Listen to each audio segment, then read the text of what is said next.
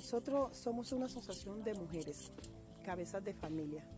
¿Qué hacemos? Vendemos un turismo ecoturístico comunitario de paz, el cual invitamos a nuestros turistas que vengan y conozcan nuestro sendero que sabemos que le va a encantar, encantar porque es una experiencia muy bonita donde uno se centra al manglar y de ahí respira todo lo que es paz.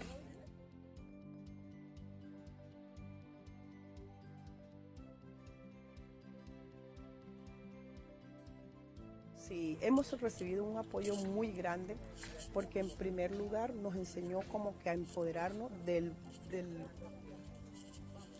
del, lugar, empoderarnos del proyecto en sí, nos enseñó cómo hablarle y vender nuestro turismo comunitario, el cual hoy en día nosotros, cualquiera de las mujeres de Asmetú, lo puede hacer. Eh, sabiendo que nos capacitó el turismo, nos capacitó en atención al usuario y nos capacitó en guías turísticas.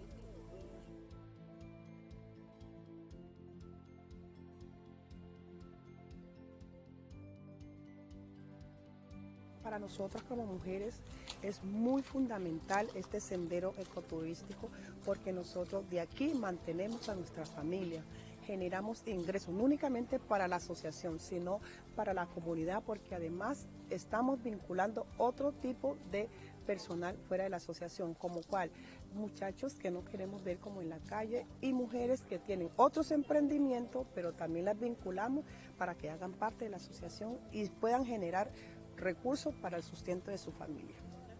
En estos momentos estamos en el Sendero Ecológico, liderado por una asociación de mujeres, donde PDT ha hecho un aporte muy importante en el sector y podemos evidenciar que es un espacio muy bonito, con mucho manglar para mostrar para que los turistas vengan y conozcan. Todo esto hace que se potencialice la economía de estas mujeres para que lleven a sus hogares. Y para el distrito de Tumaco se demuestra para que otras personas vengan y conozcan y disfruten de todo el manglar y toda la naturaleza que tenemos.